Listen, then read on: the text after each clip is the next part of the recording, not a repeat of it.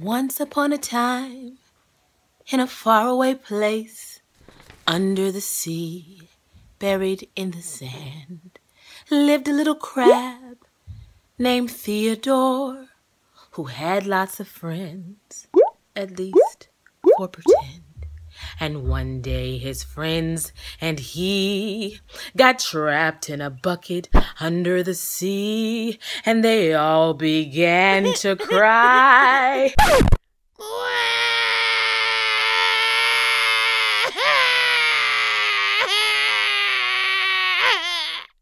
and frantically say, Oh my, what shall we do?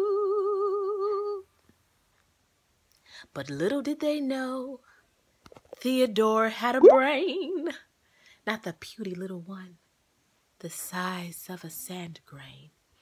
Theodore found a hole in the bucket you see, and once he escaped, he would set his friends free. But before Theodore could even escape, he felt a sharp claw, and he said, Hey, what the hey? And the other crabs say, Yeah, you gotta stay. We'll all die here and we'll never escape. But every note can't be perfect in this trivial story. Carry on. And Theodore tried to explain where there's a will, there's a way. Actually, there's a hole. We can escape.